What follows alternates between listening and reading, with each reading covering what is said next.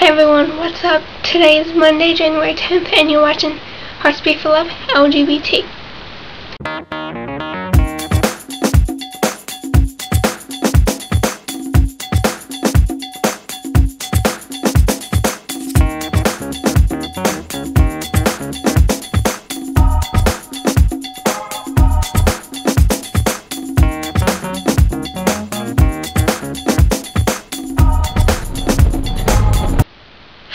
About long distance relationships? Would you have one?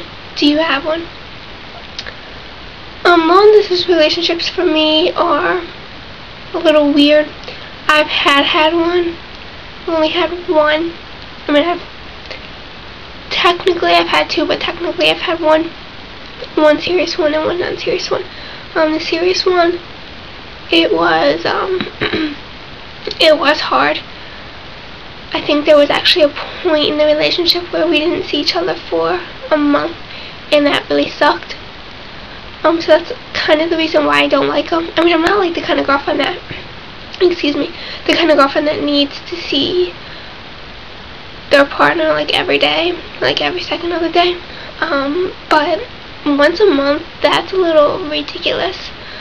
Um, and I have trust issues, so that's another um, problem with the long distance relationships. Would I have another one? Probably not. Um, how did you celebrate the New Year or Christmas and or Christmas? For New Year's and New Year's Eve I didn't do anything. I did watch the ball drop though for the first time. It was so stupid. Um, Christmas, I did the usual. I went to, I opened presents at my house, and then I went to my aunt's house and exchanged gifts with my cousins, aunt and uncle, and all that kind of stuff. And then had dinner there, and then we played some games like usual. Um, and we showed each other what we get.